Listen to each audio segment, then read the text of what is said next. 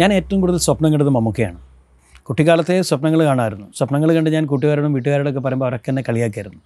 ഞാൻ കാണുന്ന സ്വപ്നങ്ങൾ മമ്മൂക്കയും ഞാനും പുട്ടും കടലിരുന്ന് തിരുന്ന് തിന്നുന്നതും. മമ്മൂക്കയുടെ കൂടെ ഞാൻ കാറിൽ സഞ്ചരിക്കണത് മമ്മക്കയുടെ കൂടെ ഞാൻ ഇരുന്ന് സംസാരിക്കണത് അഭിനയിക്കുന്നത് കണ്ടിട്ടില്ല. ഇങ്ങനെയുള്ള ചില മുഹൂർത്തങ്ങളാണ് കണ്ടത്.